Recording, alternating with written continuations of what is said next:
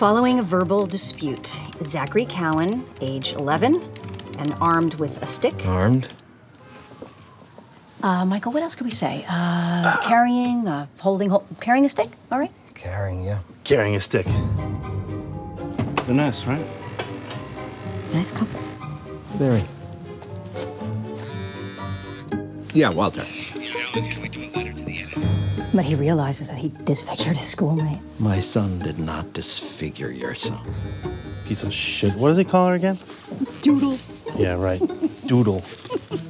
Doodle. Yeah, I call her Doodle. Sorry. Yeah? Enough, Alan. Enough with the cell phone already. The here and now, God damn it. The victim and the criminal are not the same.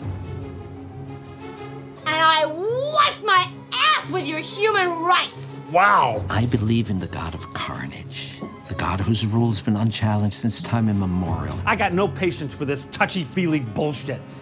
Alan, do something. Alan, do something. Oh, shut your mouth. Give a shit. Nancy, what are you? there. Shit! Oh my god. Where to go? This is what I think, Michael. I think I'm gonna vomit again.